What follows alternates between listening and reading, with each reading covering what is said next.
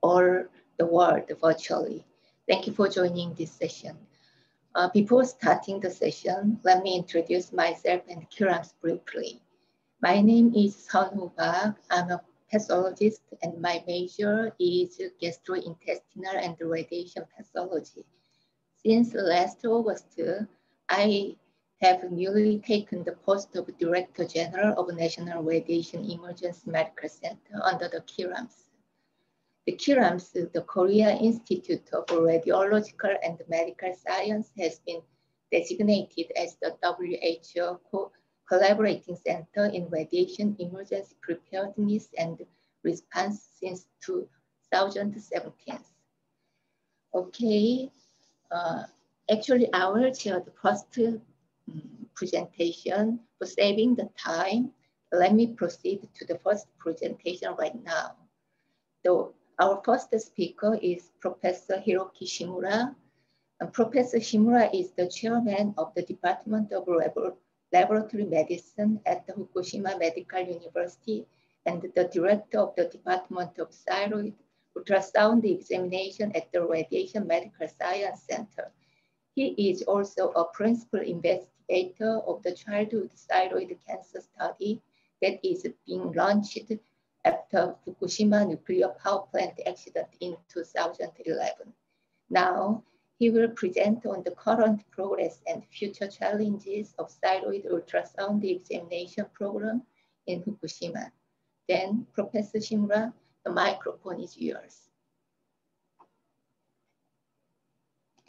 Sorry. Thank you very much. Uh, hi, everybody. I make a presentation on current progress and future challenges of thyroid ultrasound examination program in Fukushima. I'm Hiroki Shimura, working in the Radiation Medical Science Center and Department of Laboratory Medicine in Fukushima.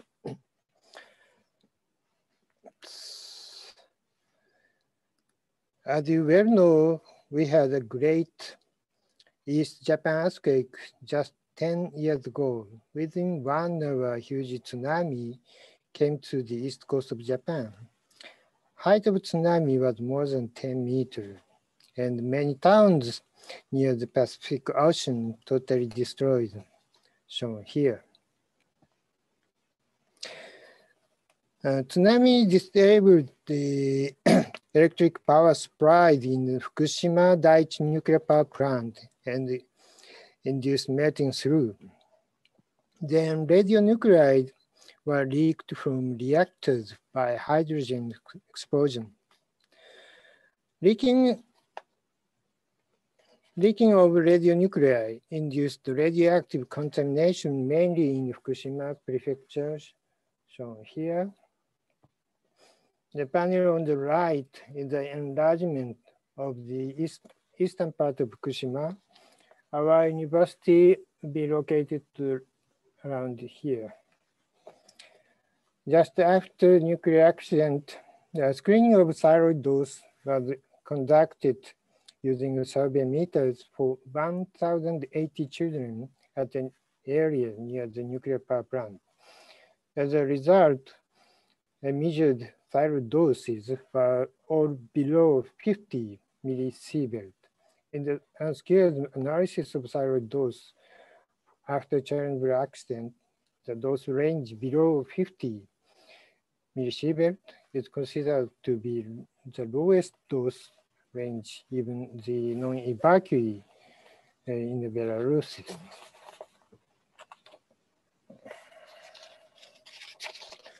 However, Japanese general public became particularly concerned with the possibility of childhood thyroid cancer similar to that observed following the nuclear Chernobyl accident.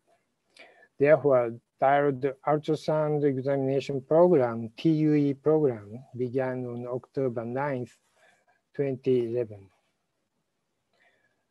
This is the flowchart of this, of this program.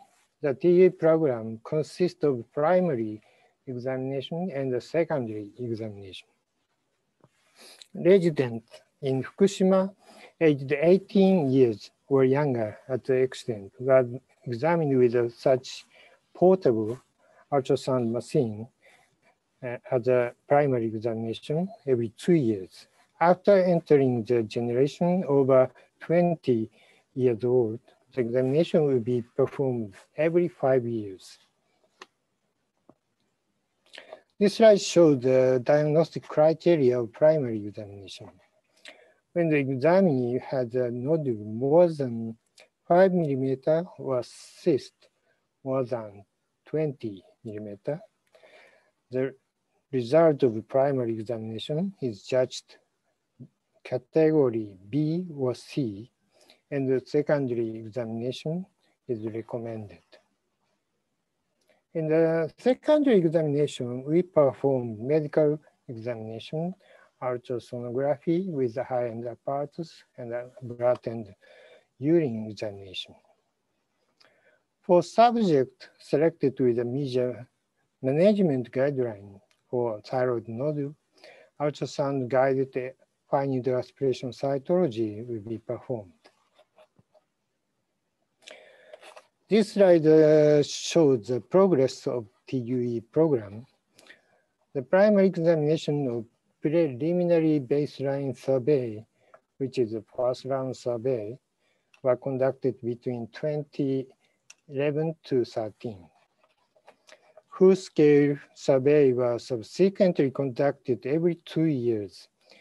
In addition, survey conducted every five years for adult generation. I've also started in 2017. In the first round survey, more than 300,000 young residents participated and 0.8% of examining classified as B and one classified as C.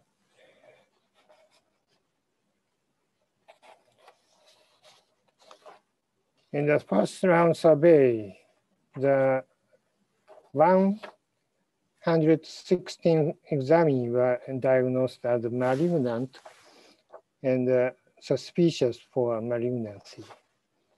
Mean age at the examination was 70.3 years.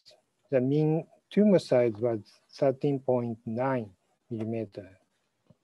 Most of the surgically treated cases were pathologically diagnosed as papillary thyroid carcinoma. This slide shows the second round, the result of second round.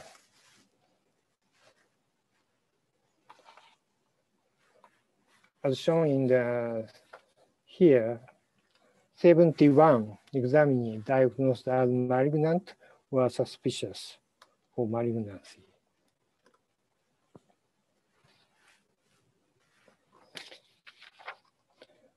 In order to clarify the relationship between the radiation dose and the detection of thyroid cancer, we analyzed the result of first and second su survey on several points of interest. Firstly, age distribution of cases diagnosed with malignant or suspicious was shown in this slide. As you can see, thyroid cancer were found in the elder ages.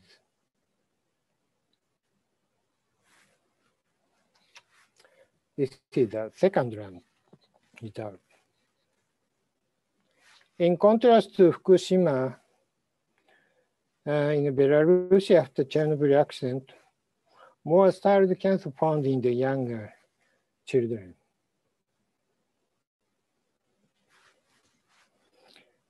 We then analyzed the odds ratio for thyroid cancer detection according to the observed dose, uh, sorry, in the thyroid gland, uh, estimated by UNSCEAR.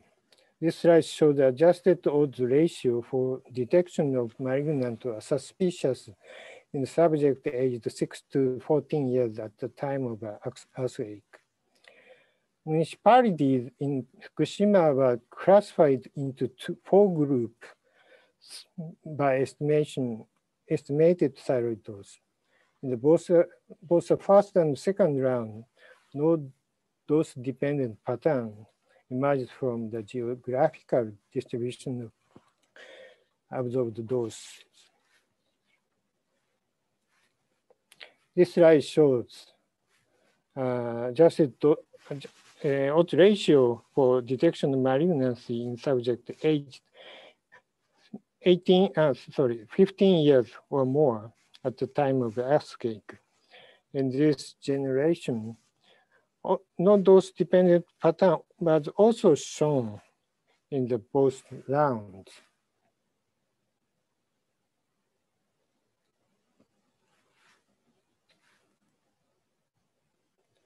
Sorry, moment.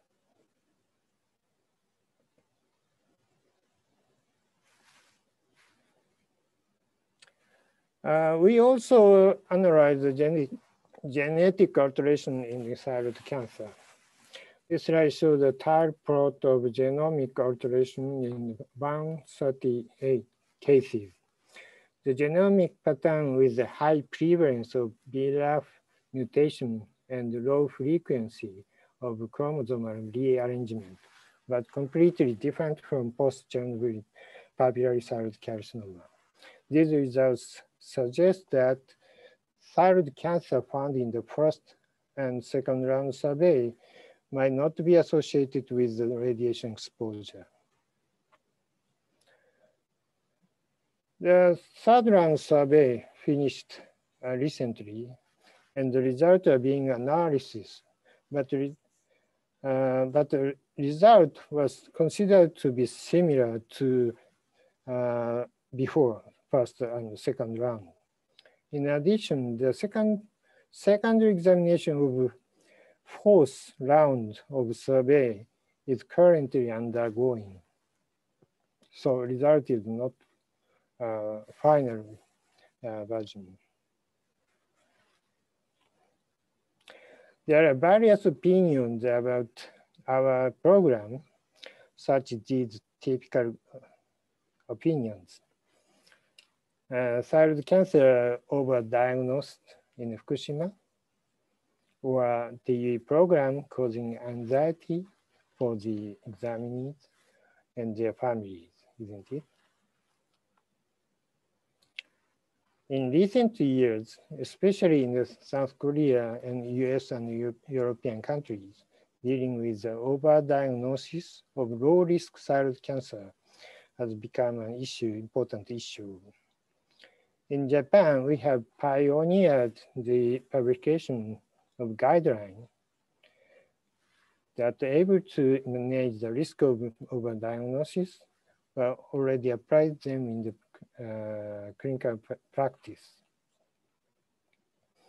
In the secondary examination, we performed ultrasound guided FNAC only for subjects selected with a management guideline for thyroid nodule. This slide uh, uh, Japanese guideline of thyroid nodule management.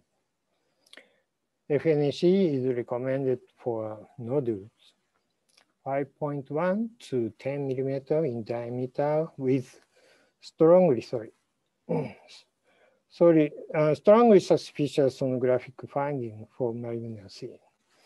Nodule of 10 to 20 millimeter with any suspicious finding and all nodules over 20 millimeter.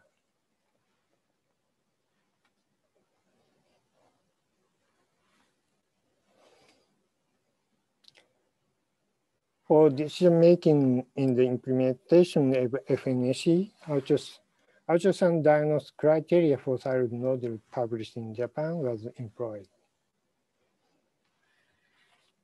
This slide shows the FNAC implementation rate in the first and second round survey. In both rounds, FNAC implementation rate dependent on the nodule size. In addition to uh, action in the secondary examination, effort exclude nodule below five millimeter from the secondary examination might contribute to the exclusion of latent cancers. In clinical practice, thyroid cancer management, including follow-up of thyroid cancer, is thought to contribute to reduction of over, over treatment of low-risk thyroid cancer.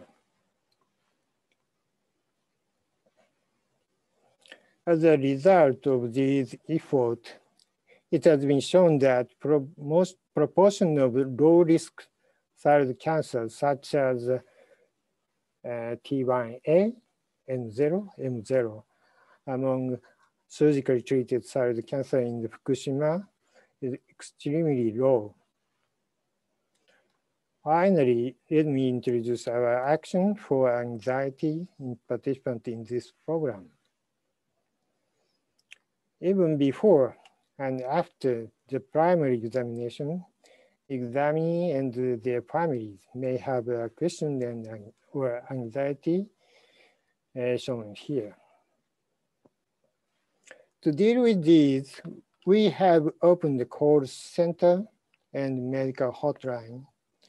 In addition, we have sent periodic newsletters to all examinees.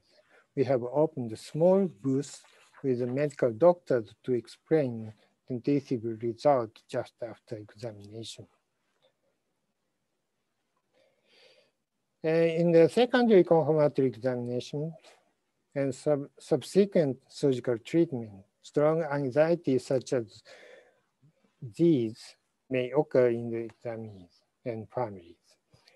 To, to take measures against these, we have organized a thyroid support team consisting with clinical psychologists, medical social workers, nurses, and support the examining consist consistently throughout examination, surgical treatment, and observation. This slide shows the typical support procedure in the second, secondary examination. At the time of first visit, they listen carefully to the examinee and family and help them relax. During the examination, uh, they accompany the examinee and family. After examination, shown here, they check if uh, the examinee and family have any question and provide the necessary information. We believe that our effort to solve the issue in the TUE program will lead to the next challenge for our future. Thank you for your attention. These are acknowledgements. This photograph is a distant view of our university located in the nature of Fukushima. I hope everyone will be able to come to Fukushima in near future. Thank you very much.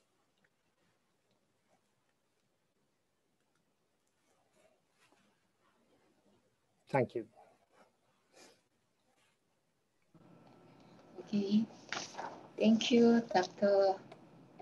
Shimura, and for your nice presentation. It is very impressive to us. And the next uh, session will be chaired by Dr. Carr for the second third presentation. And I will give the floor to Dr. Carr for the next sessions. Dr. Carr, please.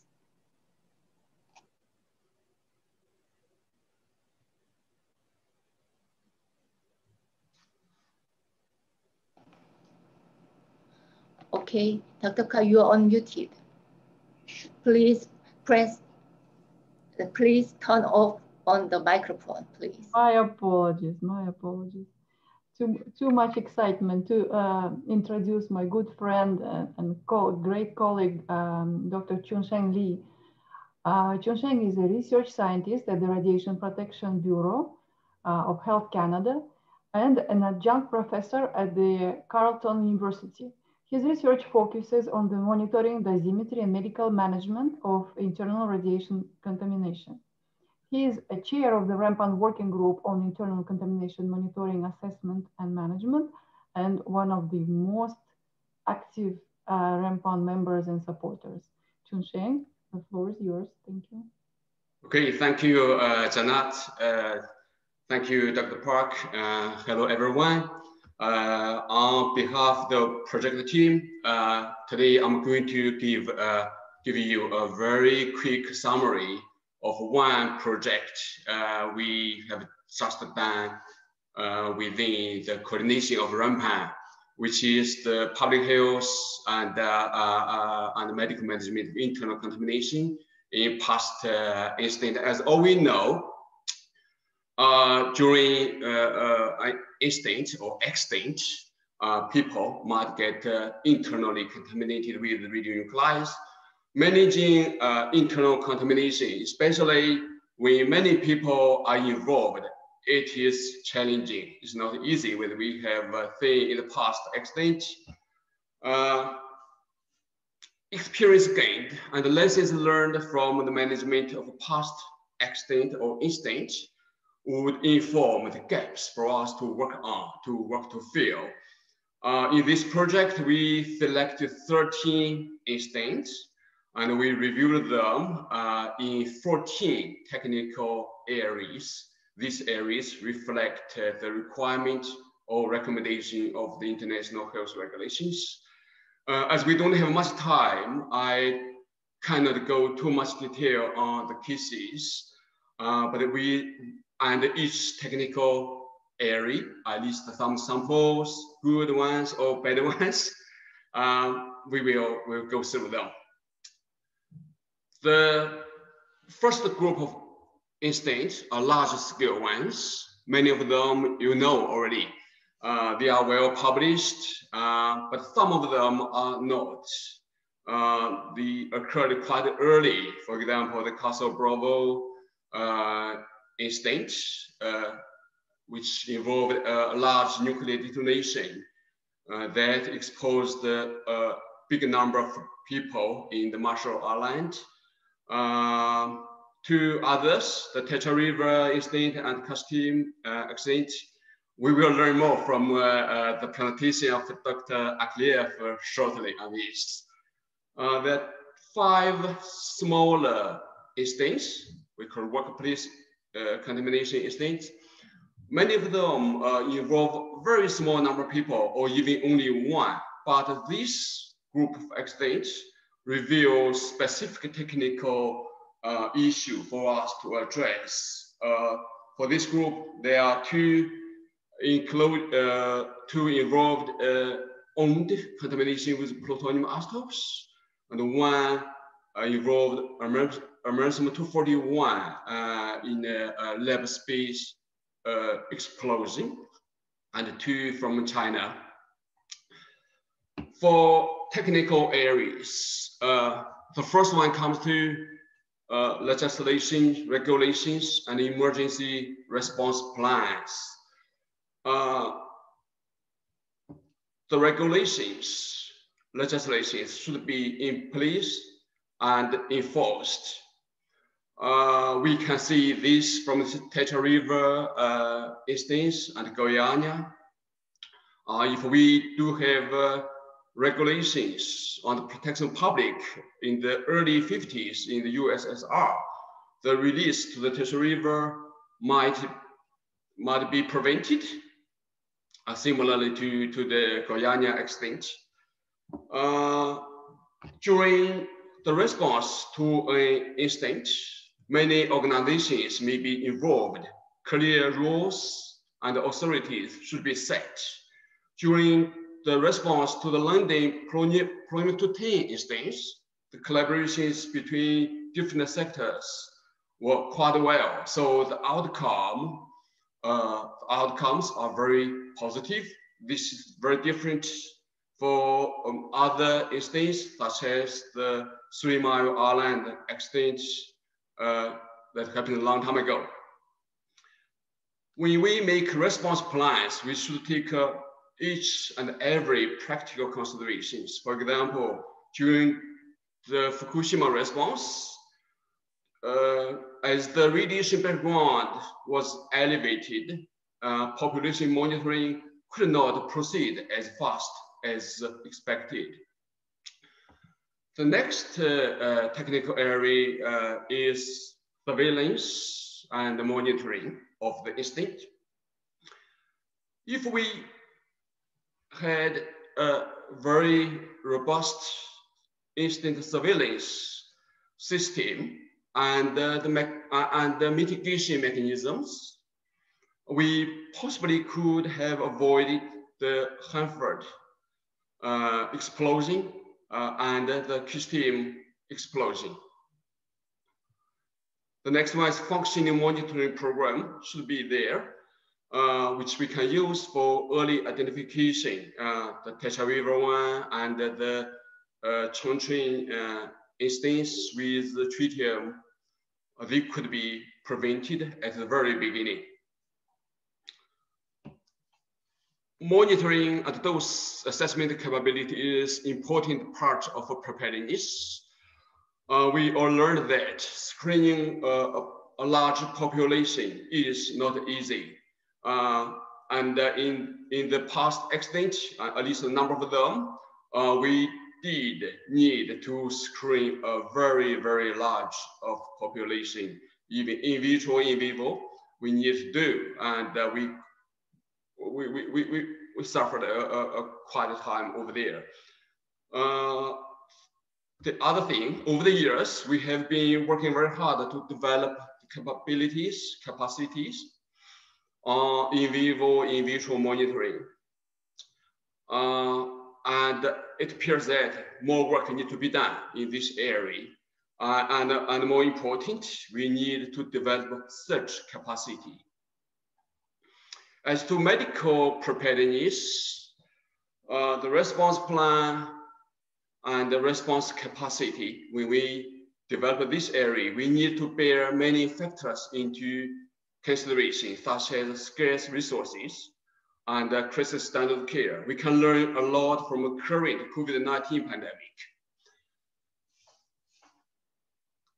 The availability and the implementation of medical countermeasures are important as we experienced in the response to the Hanford uh, incident uh, and also the Goiânia accident. Uh, we need the, in, in that two uh, incidents, we need we needed a lot uh, doses of decorporation agent, even for treating a small number of people. In case we have many people, we need to make sure the medical countermeasures are available over there. There are quite a number of uh, technical areas related to emergency response. Early identification of the instance would, would be helpful. But uh, as you can see I list a number of them. Um, it was hard. If, if they could be identified earlier, the outcome would be very different. Uh, and next point is to uh, characterize the source term, uh, the exposure pathways, and affected population. If we can do this early, that'd be much better. Emergency risk communication is super important. I believe all of us agree on this. Um, as we are going to have expert talk about this part specifically, I will skip. Uh, but we learned a lot during the past, managing the past uh, incident. Evacuation and sheltering, if they can be justified they can save life.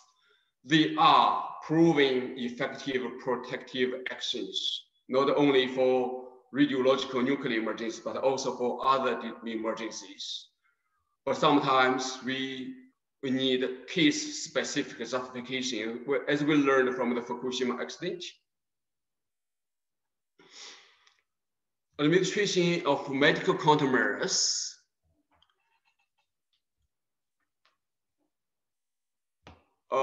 the good news for all these uh, we reviewed in this project, we touched all all kind of medical contaminants from uh, uh, Ki thyroid blocking to decorporation to surface decontamination and to surgical removal of contaminants on the tissue on the tissues, all covered in this reviewed uh, stage. Another one, food and drinking water restriction. If they can be implemented timely, the, the outcome will be uh, very positive. We can compare the response to Fukushima and the response to Chernobyl. We will see that, you know, in the first case, uh, uh, uh the significant intake of radionuclides was avoided. We have touched uh, population monitoring in the preparedness phase uh, in that, that technical area. Um, I want to, I'm not going to talk too much here, but I want to stress that we do need to improve throughput. That is, in a short period of time, how to manage a large population as each activity from monitoring to decontamination to dose assessment, each activity takes time. And when we, when we need to manage many people, how to handle them, this is a very important part. Relocation, uh, temporary or sometimes not necessarily temporary, uh, is necessary. But this is subject to national regulations and the case-specific justification. I put all three uh, long-term activities on this slide. They are important technical areas for recovery process. Uh, you know, in the first uh, uh, presentation today, we, we, we, we, we, we, learned that during Fukushima, we, we have set a very good health mirror survey program. Uh, what I want to see here, uh, each activity is, is, is very, very demanding, it's time demanding and resource demanding. Uh, we need to design very carefully and justify very carefully. This is the last slide I have, summarizing the gaps uh, for us to fill. Screening.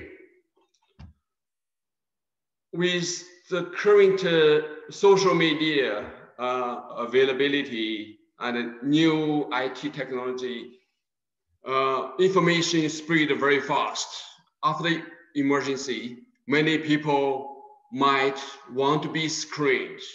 We are possibly going to experience flood of information, uh, flood population in a short period of time. So how to increase screening capability is very important. I think we need new strategies and uh, using emerging technologies. We have to uh, think out of the current box. For monitoring and dose assessment, uh, as I mentioned just now, very important is search capacity. We might need to think not only develop individual uh, capabilities or capacity for individual labs, but also to develop national and international lab networks.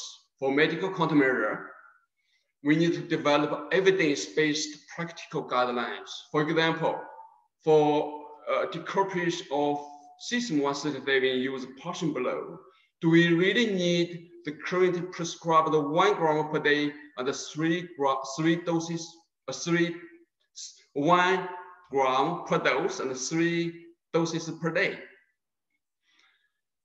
Stockpiles, we need to develop stockpiles, but also we need to develop sharing mechanisms. If we can share medical countermeasures, that'd be good. Uh, and in addition, we might need to do more research to improve the current use the, the use of currently available drugs. And above all, sustainable capacity is important. We develop all the capabilities and capacity. We need to make sure they are sustainable as we don't know when emergency is going to happen. With that, I stop here. Thank you for your attention. Thank you very much, Chun Um, very interesting presentation. Actually, it was a good overview of the project which we started together and Chunsheng sent me the review paper, some 60 pages to review some time ago, and I didn't have time to look at it yet. So this is a nice summary of that paper. I appreciate it. Um, our next speaker is uh, Dr. Alexander Akleyev. Uh, Dr. Akleyev is a radiobiologist and a medical doctor. He is the director of the Urals Research Center for Radiation Medicine in Chelyabinsk, Russia, Russian Federation, and the head of the Department of Radiobiology at the Chelyabinsk State University. Since 1996, Professor Akleyev has been the head of the WHO Collaborating Center uh, for uh, Radiation Research and Radiation Emergency Medical Preparedness and Response. Uh, his major research interests include health effects of chronic radiation exposure and radiation effects at low doses. Alexandra, the floor is yours.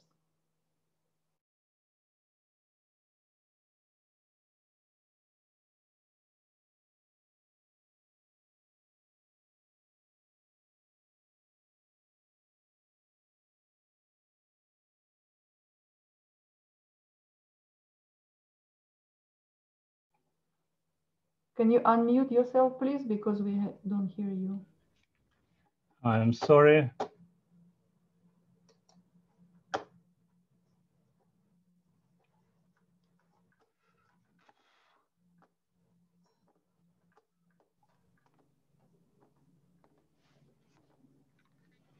We had your presentation a moment before. Now I don't see it anymore.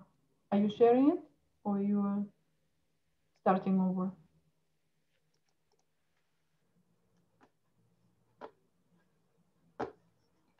Maybe you can try to stop sharing and start again. Yeah, now I see it, yes.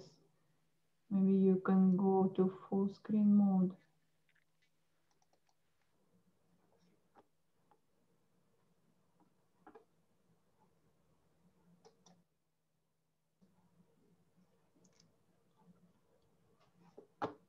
At the right bottom corner of your screen.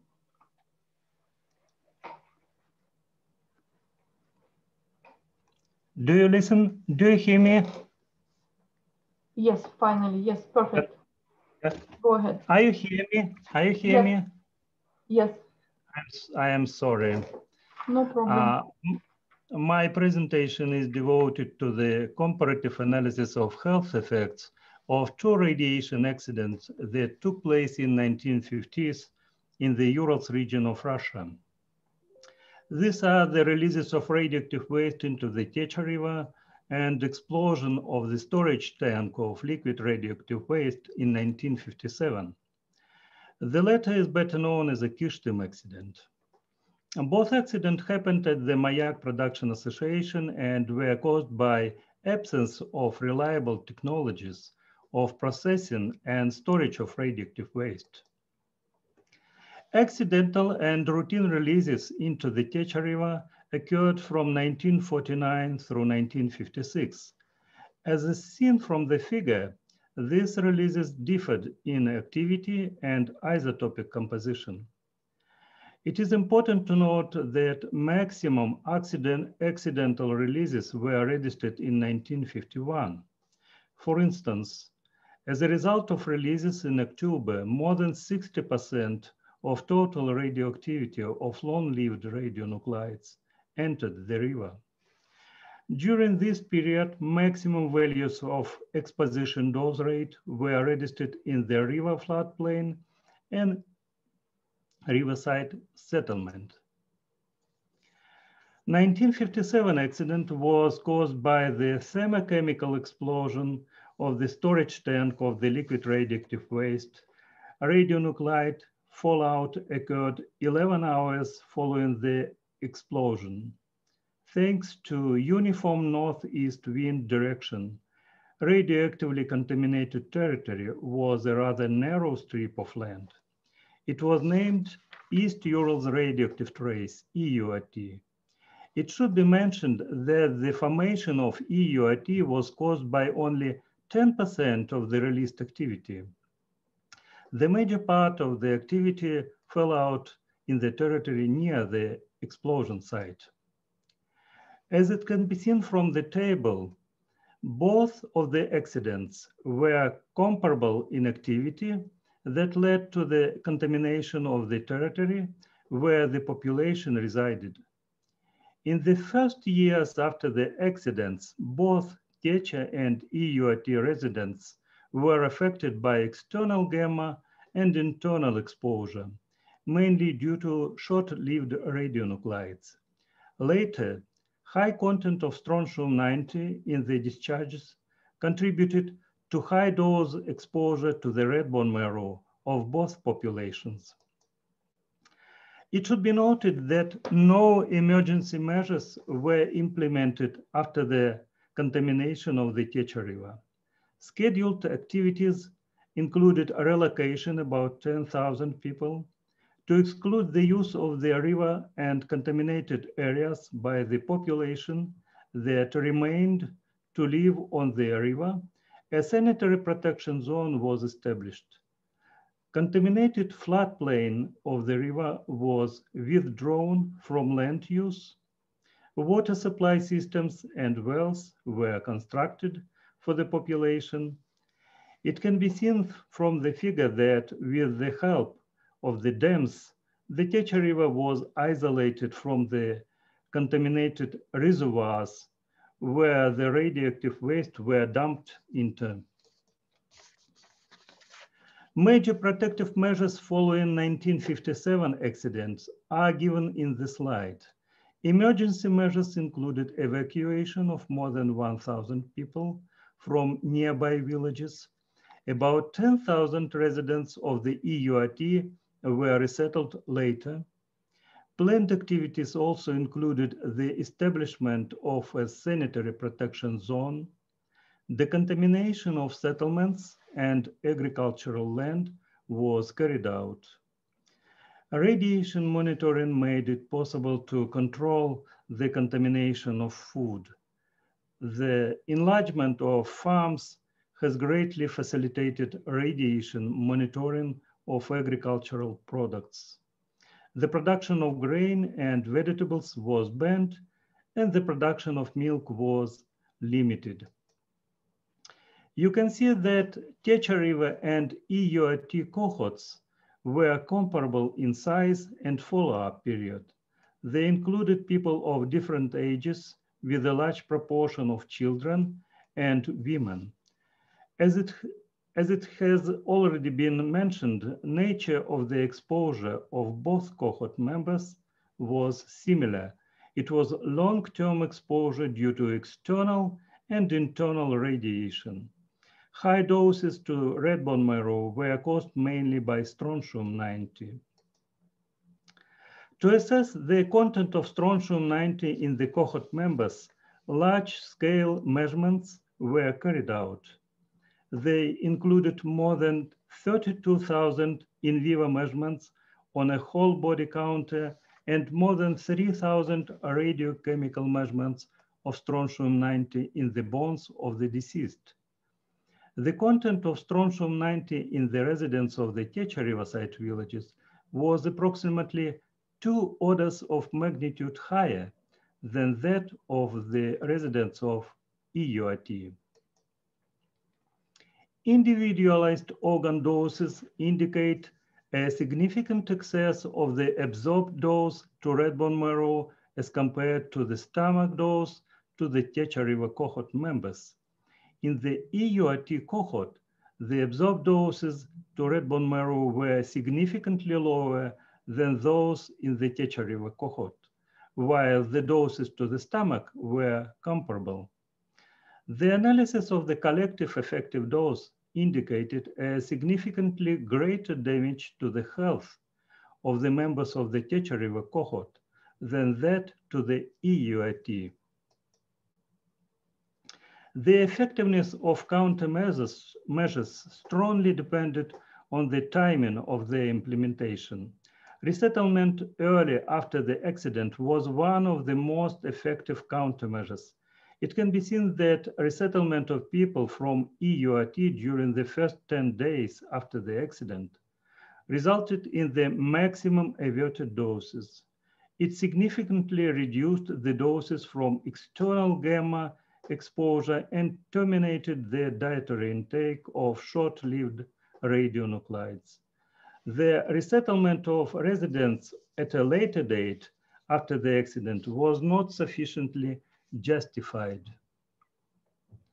Deterministic effects were most clearly revealed among residents of the Techa River site villages. They had cases of chronic radiation syndrome and tissue reactions, mainly suppression of hematopoiesis and immunity, neurological disorders. Moderate decrease in the number of neutrophils, lymphocytes, and thrombocytes in the peripheral blood was more often registered in EURT residents in the first year after the accident. They had no clinical manifestations. Incidence and mortality of solid cancer and leukemia were used as a criteria for long-term health effects. It can be seen that in both cohort, both linear and quadratic models equally describe the dependence of the excess relative risk of cancer mortality on the dose. It can be seen that there is no evidence of a threshold effect. Large uncertainty in the excess relative risk estimates remains at low doses of 100 milligray or less. Over the entire follow-up period, more than 2,300 deaths from malignant tumors, including 50 cases that could be attributed to radiation were registered in Techa River cohort. In the EURT cohort, there were 1,039 and 26 cases respectively. The attributive risk had similar values. Excess relative risk of death from cancer per unit dose was significantly increased in both cohorts and its value was the same. Analysis of cancer incidence showed a significant increase in excess relative risk in the Techa cohort. Cancer risk in the EURT cohort was lower and statistically insignificant.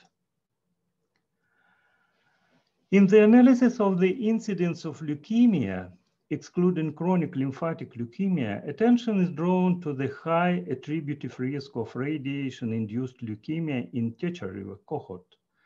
Of 72 cases of leukemia, 34 are due to radiation exposure.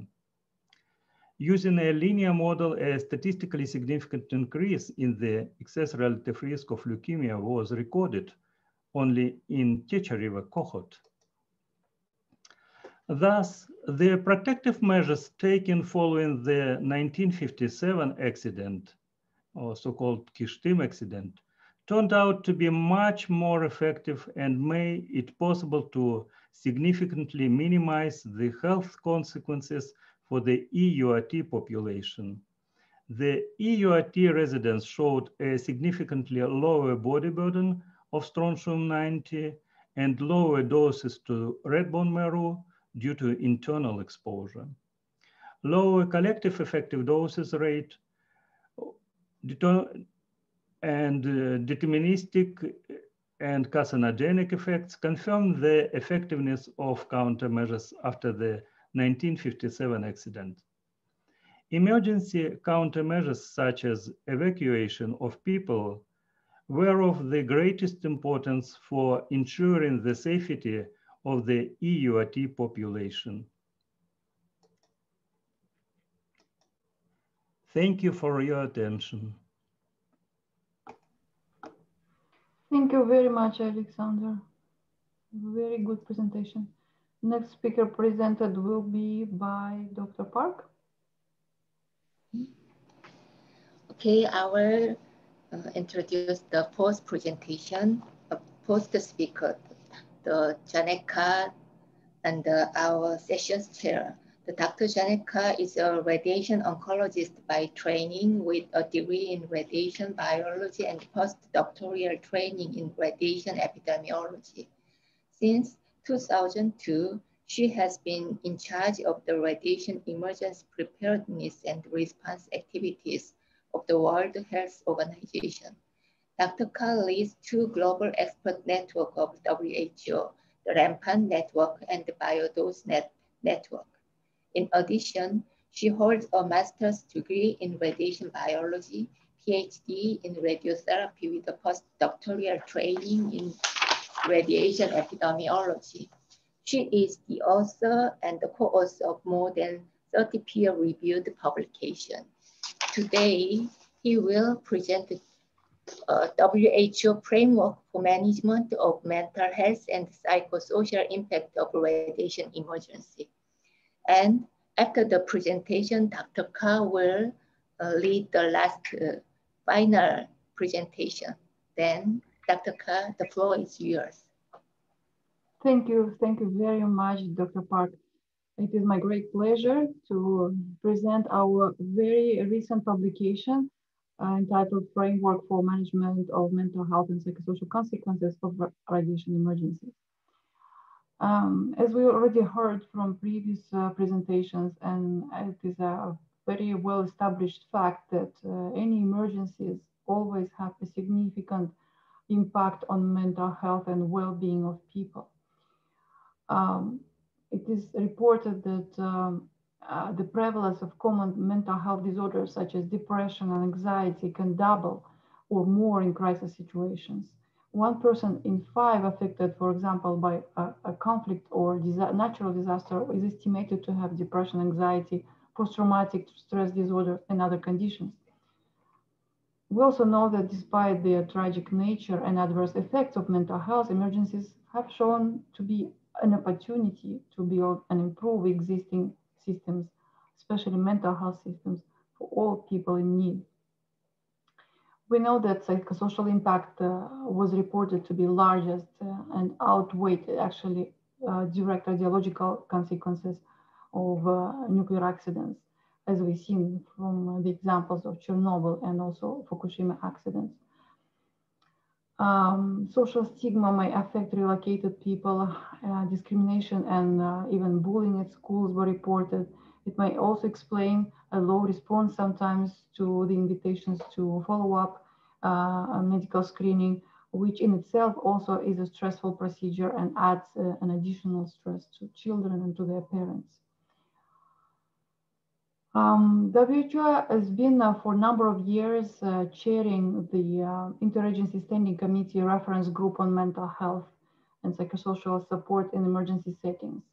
This group has developed a number of uh, benchmark uh, guidelines and tools to manage this type of impact in uh, any emergencies. Um, so these are existing norms and standards which are applied in different type of emergencies, but we have not yet brought it to be used in uh, management and preparedness for nuclear and radiological emergencies. In uh, radiological nuclear emergencies area, we have a very well developed set of uh, normative uh, guidance and uh, safety guides and procedures, protocols, um, which heavily are based on uh, some metrics on uh, dosimetry, on those concepts, on uh, um, measured quantities of exposure rates, etc. And as I said, we also have a, a very well developed uh, system of international guides and normative and policy advice uh, publications for managing mental health in generic emergencies and disasters. The problem is that these two fields are not yet integrated. And uh, the question is how to bring these two together, how to make two sectors to interact and to come up with joint solutions. So while discussing this issue, WHO has been actually actively advocating for that and creating a momentum through publications in scientific journals, through discussions with expert community uh, and specialists in various international fora. Here you see the list of different events where WHO has been presenting its um, views and advocating for the need to move forward in addressing the non-radiological health impact of uh, nuclear accidents. Um, this uh, work has actually um, uh, made a major leap forward through um, the uh, cooperation with the Nuclear Energy Agency of OECD in Paris, in France. Uh, we jointly launched a two-phase project back in 2008. Uh, as a first phase of this project, WHO was to develop uh, a policy framework document using existing WHO documents and guidelines for managing mental health in generic emergencies. And as a phase two, uh, NEA working group uh, dealing with um, uh, uh, nuclear emergency, working party for nuclear emergency matters, WPNM, uh, would lead the task for uh, developing derivative products based on the WHO framework, tools, guides, checklists, etc., to support emergency planners and responders um, to provide them with tools for efficient mitigation of psychosocial impact. So within the um, couple of years, this work advanced and you can see some timeline and major milestones, uh, which actually uh, culminated in uh, publishing the um, document at the end of last year. And we held a um, webinar launch on 27 November. And we have um, the recording of the webinar available on YouTube channel. The structure of the document is as follows. There is an introduction followed by the uh, overall description of what are the mental and psychosocial consequences of uh, radiation emergencies. Then we looked into the issues which are cross-cutting through the entire emergency cycle through um, planning and uh, responding and uh, mitigating consequences and recovery.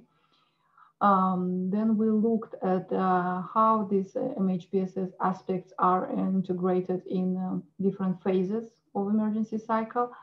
And um, uh, at the end, we discussed challenges of its implementation looked into research needs and um, finished by the glossary and references.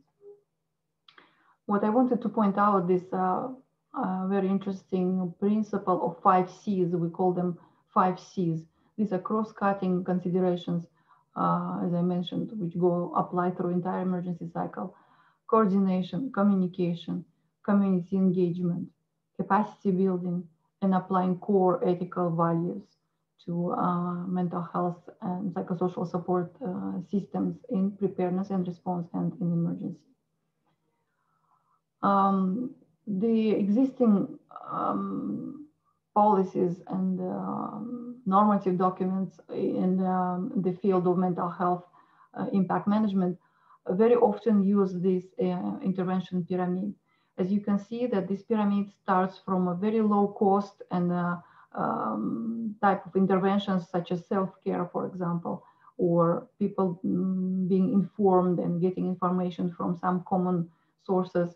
And these are the largest uh, proportion of affected people will be using this type of intervention. And this, is, this has a lowest cost. Further on, uh, there are more targeted types of interventions which will be applicable to uh, less um, proportion of a smaller proportion of population, such as uh, community care, further primary health care services by uh, trained uh, professionals. And uh, the pyramid ends up with a very small part of a population which will actually need um, uh, formal clinical management of their mental health. And of course, that is, has the highest cost and, and the smallest proportion of people will need this type of interventions. Key messages of the framework are uh, we said that the radiation emergencies have unique mental health impacts. Uh, the document elaborates on these uh, unique features mental health and psychosocial consequences such as fear, anxiety, emotional and behavioral changes may outweigh the direct impact of radiation exposure. A public health approach uh, with an emphasis on MHPSS interventions is essential for planning and responding effectively to radiation emergencies and must include interdisciplinary capacity building activities to ensure that MHPSS is integrated within existing arrangements for response. Uh, cross-sector coordination uh, between radiation protection and MHPSS actors, community engagement, risk communication, and applying core ethic, ethics principles are crucial for uh, strengthening preparedness and for efficient response to radiation emergencies. We need practical tools to be developed uh, based on the framework in order to promote the integration of the MHPSS within existing arrangements uh, and to support the emergency response. And uh, research is very important component. It is needed to further understand the mental health vulnerability to radiation emergencies, to explore the best tools, and to strengthen the evidence base for, uh, to, for appropriate MHPSS actions. And this is the final slide of my uh, presentation. As I mentioned, um, we are taking questions through the chat section. So those who are connected, please don't hesitate. Um, type your questions here in the chat uh, window. Uh, also, IRPA uh, website for those who are registered uh, participants, uh, there is also a special uh, place in IRPA Congress website for putting, typing your questions there. We're also monitoring that page. Um, now taking, putting back the hat of a co-chair of the session, it is my pleasure to introduce our next speaker. Uh, this is Mr. Patrick Meschenmoser, who is the founder of Meschenmoser Situation Management Consultancy Company, specialized in risk and crisis communication and informed decision-making and exercises. Patrick has some 15 years of experience with international crisis and risk communication. He is a member of the EPR and radiation risk committees of the German Commission of Radiological Protection. And also he is a former crisis communication advisor at the uh, Incident and Emergency Center of IAEA. His impressive portfolio includes working as a spokesperson for one of the world's largest airlines and also a media relations director at one of the largest pharmaceutical companies. Patrick holds a master's degree in international relations and history. Uh, and he is giving uh, a different format talk today. It will be uh, delivered in the format of TED Talk. Uh, for next 15 minutes, Patrick, the floor is yours. Thank you very much, Madam Chair, and also thank you very much, uh, Madam Co-Chair, for uh, inviting me today to talk about infodemics and give you a very brief introduction, give very brief overview of what infodemics are. Um, a, a, word that basically the WHO coined a couple of years ago during the first SARS uh, uh, uh pandemic. And now, of course, during the COVID uh, pandemic is very, very, very uh, important topic. Um, I want to take you a little bit back a couple of months. On the evening of November 2nd, 2020, uh, the first time that I heard about a terrorist attack is unfolding in the inner city of Vienna was through a message a friend sent me via a messenger app, Telegram. That's a messenger app like WhatsApp, for example, or WeChat. And then I immediately turned to uh, my social media channels, Twitter and so on. And I already, already saw hundreds of messages uh, and, and people that were talking about this attack. During the course of the night, in the next hours, that all started around 9 p.m. in the evening local time, there were hundreds and hundreds of messages, tweets, Instagram, you name it, about uh, potential hostage situations at different locations all over the city. There were um, reports about numerous attackers that are still at large in the city. At the end, there were hundreds of videos of pictures shared of the potential terrorists and so on. At the end, it turned out that only nine minutes after the first shots fired, the terrorist was taken down by local police forces and killed. So after nine minutes, the terrorist attack was over. And still, it was unfolding on social media for hours and hours, causing a lot of uncertainty, causing a lot of confusion, and making uh, the tactical response of the police forces very, very hard because every misinformation, every speculation of a hostage situation, every picture that might show a terrorist, they had to take it into account, they had to screen and look at. So it was a very, very confusing situation. And in such situations, people do sometimes very, very dangerous things, like approximately four years ago, a similar case in, in Munich. Already after the the attacker was killed by the police for hours. There were people jumping through closed windows in restaurants in Munich because they heard suspicious noises and thought there might be still terrorists because on social media there was speculation about terrorists still at large in the city and still uh, attacking the people. So this is what we talk about when we talk about infodemics in this case, it's more epidemic infodemic, so very local one. But nevertheless, but nevertheless, it is an infodemic, and the WHO puts it quite well uh, when it when it says it's an overwhelming overabundance of information, both true information and false information. But it's very hard in this uh, information overload for the people to tell the good news from the bad news and to, to see what is, what is the case, what is going on. Um, Daniel Kahneman, I think you all know him, he differentiates our thinking in two systems. On the one side, we have the fast system. This is the system that is more unconsciously taking place, like when we drive our car, or in my case, my motorbike, and we don't have to think so much about it. Uh, and on the other hand side, there is the slow system, the system that processes things, that when we get more details, more information, we think about things and we try to figure out what this is. And for example, if uh, you drive a car and I sit next to you and all of a sudden I tell you, hey, what is, what is uh, 300,046 multiplied with 472? Then all of a sudden both things get different difficult for you both driving and calculating because your your brain is a little bit jammed and a little bit overwhelmed and you need to to focus on these detailed um, uh, figures that i gave you.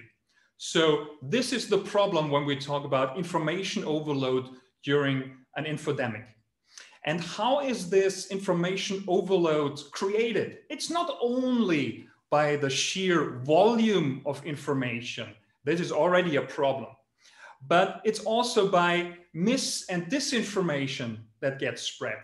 In case of, for example, the terrorist attack, so many hostage situations that allegedly were taking place, none of them were true. But you need to figure out, am I in danger? Are my loved ones in danger? And you're stuck in that information overload and try to make the right decision, and it gets more and more difficult.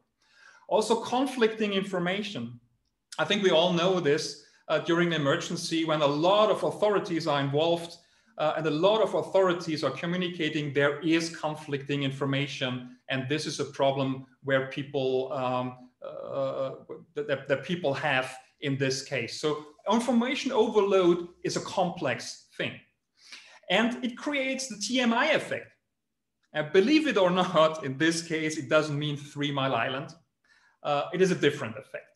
If we look at the relation between uncertainty and information, the volume of information, amount of information, and the grade of detail, then it is clear that on the beginning, when there is not much information and the people want to find out what is going on, this is a danger zone for fake news. Because if we do not provide them with information during an emergency, they turn to other sources and they might uh, take advantage of that. So we all know we need to communicate fast and thoroughly. And I will not repeat all these um, these uh, principles of good risk communication because I think there were talks before and you all heard that already. But this is something that we need to, to look at. And so unfortunately, this is not a linear development. You could think, okay, you, the more information I give the, give the people, the less they are uncertain about what's going on. That's not true. In fact, it's a bell curve. It's an inverted bell curve. And that is the big problem because there is an ideal point where we give, give them enough information with enough detail so they can make good choices and good decisions and where they can switch from or where the slow system is, is able to compute all this information. But when we give them in too much information or too much detail, then all of a sudden the uncertainty rises again because they cannot compute it. They don't cannot find out what is right and what is wrong. So we need to be careful not to overwhelm the people with too much detail, with too much uh, conflicting information, or with just the sheer volume of information.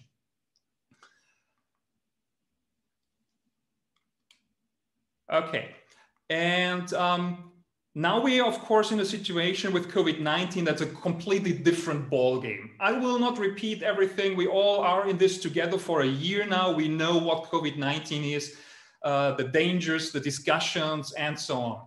But what we need to be aware of, look at these figures here. And I took deliberately a week from June 2020 because all my my data is uh, uh, from mid last year because there's already some research out there. It's not too much, but there's some research out there. Look at this. In one week, 26 million mentions of uh, COVID on social media. In one week, 26 million and 2.7 million on, sorry, that should uh, read traditional media, of course, traditional news media. And this morning I Googled COVID and I got more than 6 billion hits, 6 billion hits on COVID.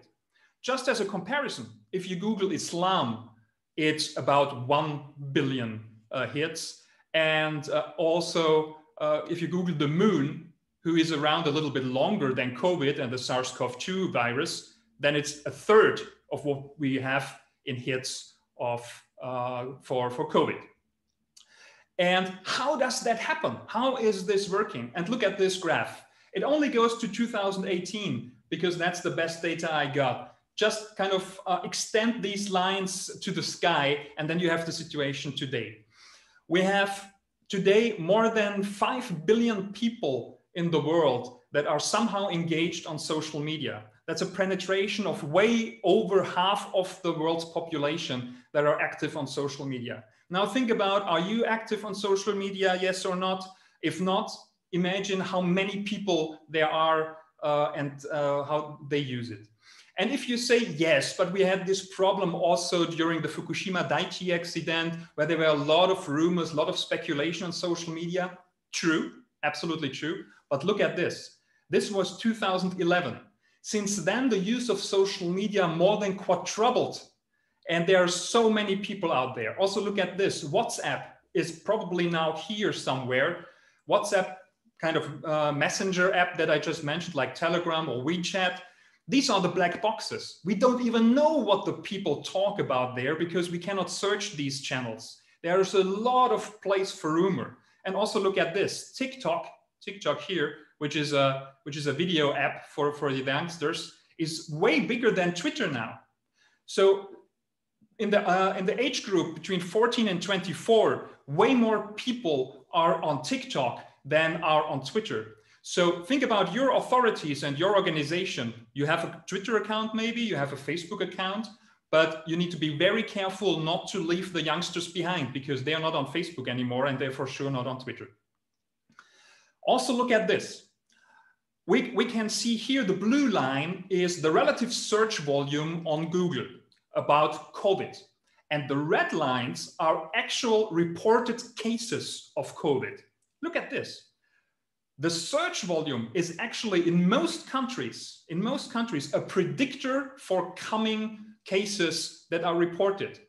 How can that be? It's because, well, you have one case in your, in your, um, in your vicinity, in your family, among your friends, and then you start to Google. And if you have five friends, five friends start to Google. So with every reported case, you have five people that start searching on the internet.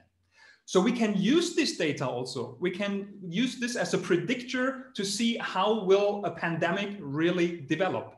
Plus, if we do not manage to close that gap between when the people look for it, approximately 11 uh, days before the peak of the reported cases, and when, when it really happens, then they will look for different sources of information and that will probably not the best ones that will probably also it's also a delta where the fake news will be able to, to come in.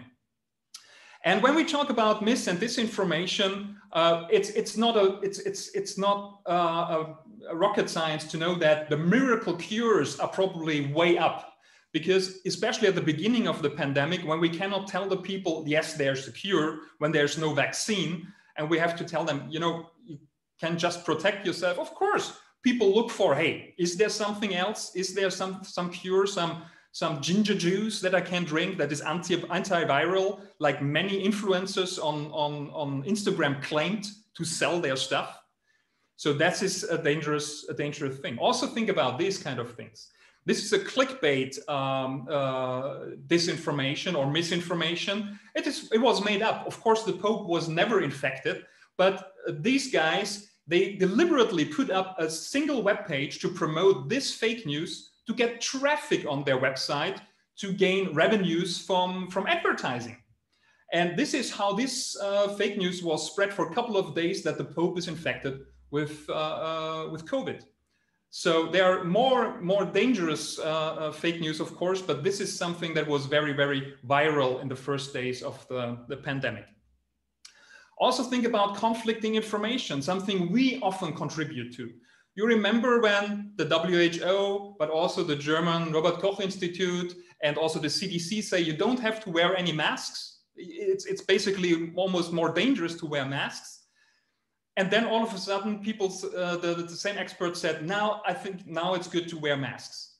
It's because in Europe, for example, we had no culture of wearing masks, contrary to Asia, for example. And also they were afraid that they would not have enough masks for the medical staff. So they just said, no, no, you don't need that.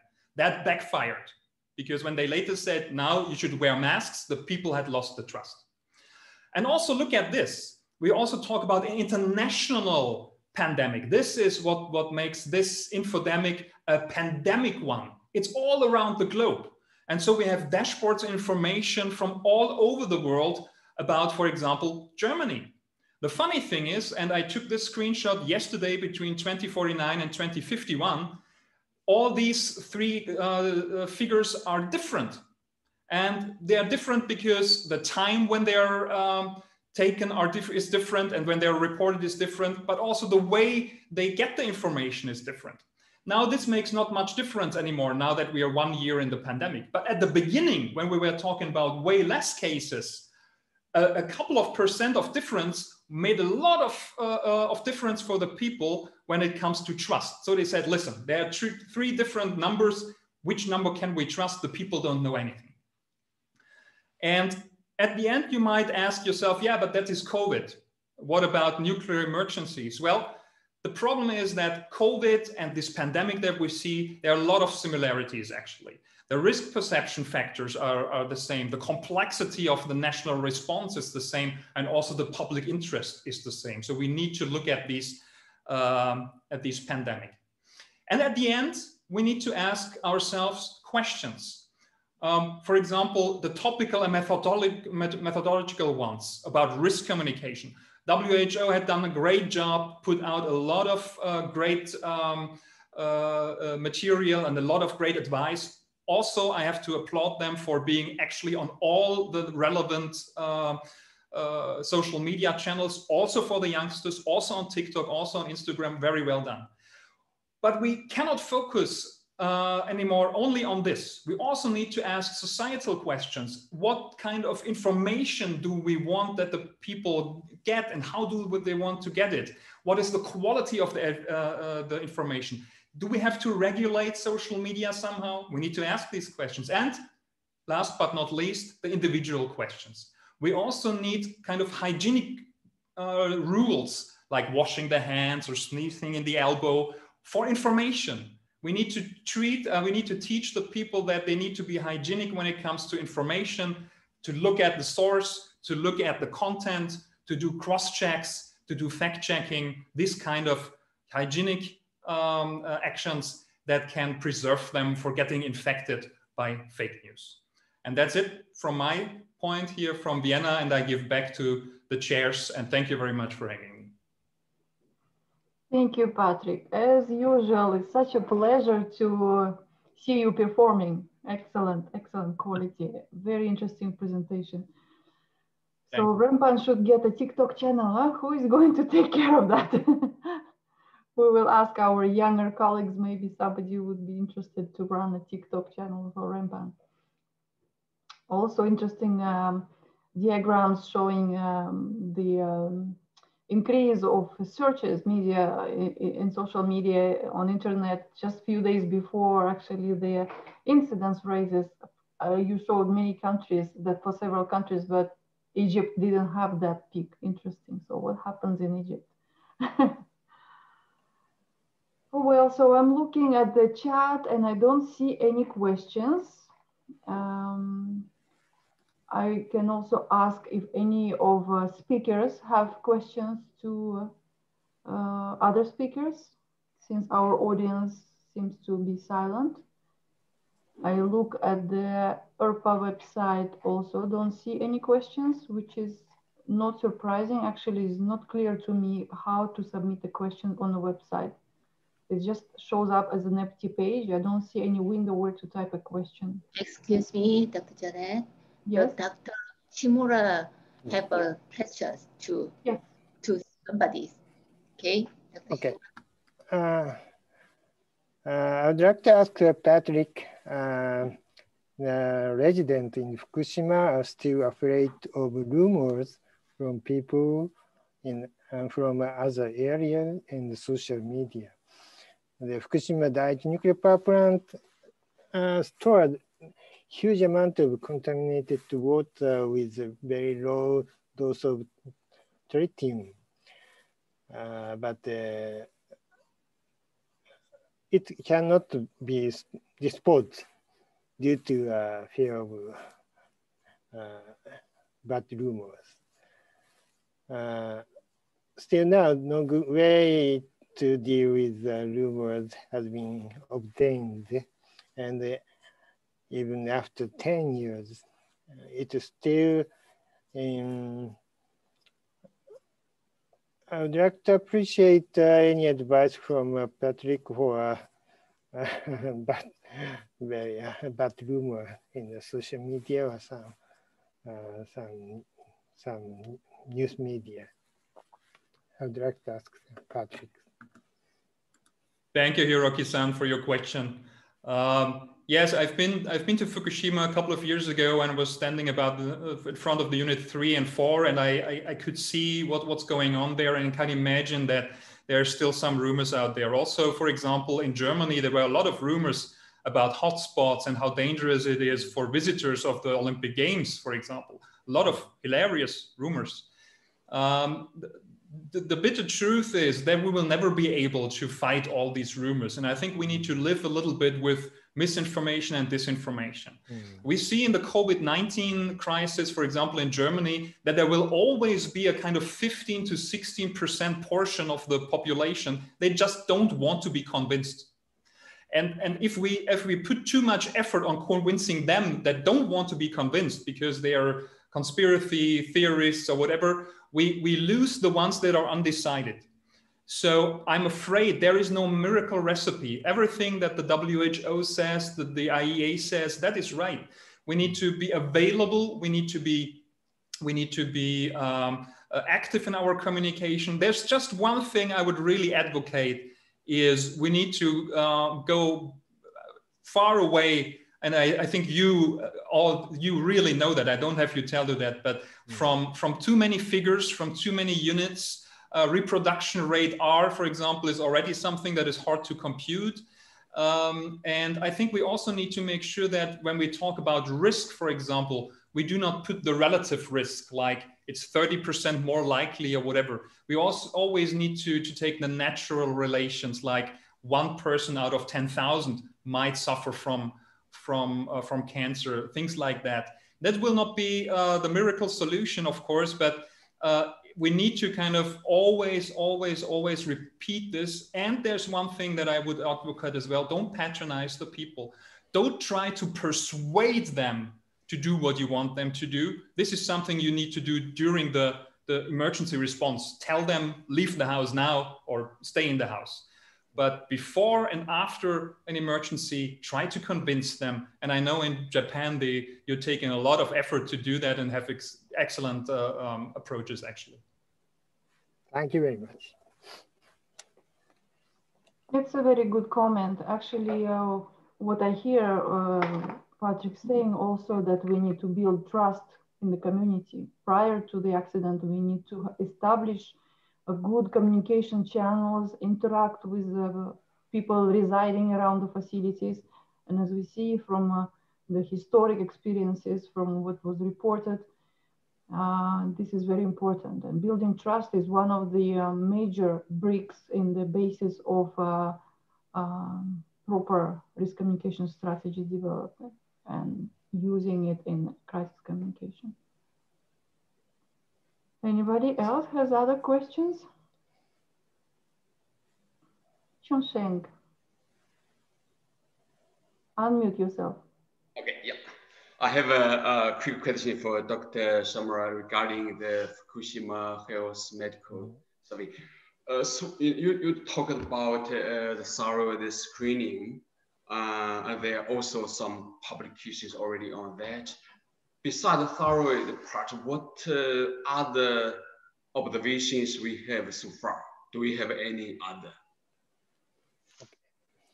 We are conducting a, a survey for radiation dose and a survey for pregnant women and a survey for blood count, blood cell count, and uh, psychosocial uh, impact. So, so far we have no um, evidence, no effect, radiation effect on the pregnant woman. And um, for example, blood cell count. But uh, we have a very big impact on the psychological issues. So especially in the uh, area, evacuation area, people in the evacuation area, they have to uh, move to the other um, area and they, they lose uh, community, local community. So they have oftenly uh, have a depression and something like that. So we are going to support uh, the, them and we are continue to uh, interviews, uh, interview the evacuated people uh, as well as the living people in Fukushima. So I, I think uh, biggest uh, problem in Fukushima is the psychological issue. And in, in our thyroid, uh, thyroid program, uh, we are going we are going to uh, take care of the psychological uh, problem with um, um, people afraid of the thyroid cancer risk. So it's a very big problem in the psychological. Other is not so much. Okay. Unfortunately, in Fukushima, you have a very good experts. Professor Masaharu Maeda contributed, mm, yeah. made a major contribution to the development of mm, the framework yeah. we published. Yeah, and, and uh, uh, some member of uh, Professor Maeda uh, cooperate with the thyroid program, so they are supporting the psychological uh, mm. program with the thyroid nodules who have cancer. Okay, I want also to ask a question uh, uh, to uh, Dr. Um, Professor Akleyev. Um, in your presentation, uh, you compare two accidents which actually have so many similarities, but also the scenario itself was quite different, right? The explosion of 1957 was acute, let's say, uh, a big release and, and short term of time uh, versus uh, Techa River was over the years and, and slow exposure, let's say. Um, I'm not sure. I'm not. Uh, I have not followed closely your uh, recent publications, so I do not recall if this is the new approach. Now you are comparing them in terms of in the context of emergency um, protective actions which you put in place. This is a new approach, or you have already published something with this regard. Uh, thank you, Zhanat, for your question. It's a new approach. Uh, we used it for, for the first time uh, in reality, the scenario is uh, very different for, for the Techa River and for the uh, Kyshtym explosion. You are right. The different pathways uh, for the uh, uh, for the radionuclides, uh, I mean the internal pathways to the humans. But in, in principle, in both situations, we have uh, the uh, some chronic exposure, prolonged exposure, because uh, the residents of the nearest villages in Kyshtym accident were relocated at first 10 days and the, another population was relocated uh, later, but uh, uh, the main proportion of the EURT people also were exposed to chronic exposure for many years um, mainly by um, strontium 90. But the um, uh, content of strontium in EURT population, as I, I, said, was rather lower than in Techa River cohort, mainly as a result of uh, more effective protective measures uh, for this population. Because uh, the specialists uh, in 1950s uh, uh, in situation in Techa River, they hadn't any experience about the countermeasures. Uh, they uh, they did some uh, counter planned countermeasures, but they mainly uh, have delayed in time, and in volume they what not they was they were not enough for, uh, they not involve all the population who are living in the riverside uh, uh, settlements. From this point of view, it, it was a first um, attempt to analyze, to, to, do the comparative an analysis of the health effects. And also, uh, for the first time, we estimate the collective effective dose as a detriment uh, for the health. Uh, it's not the, the dosimetric uh, units, it's units for the analysis of health harm as a result of a radiation accident. It, also show the uh, less effectiveness of Techa River uh, countermeasures than it was made in EURT.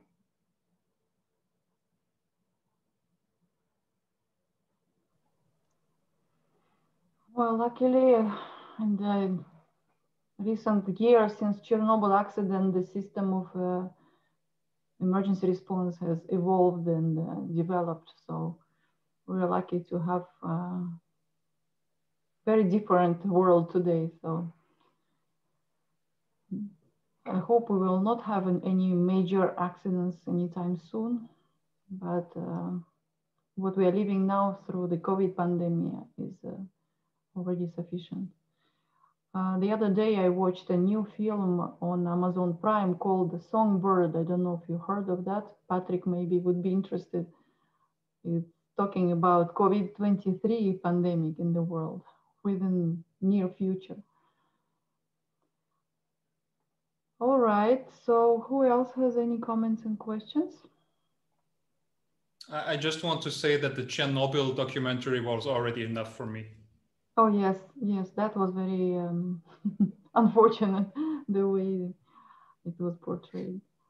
despite the good kinematograph their cinematography, the good work and excellent work of actors and the incredible uh, uh, recreation of the ambience of 80s uh, in terms of uh, decorations and uh, how people used to live and how they dressed and how they walked and talked. Everything was very natural, except for the scientific accuracy was far, of course, from the from truth as if there was not enough drama already. Yeah, yeah I agree.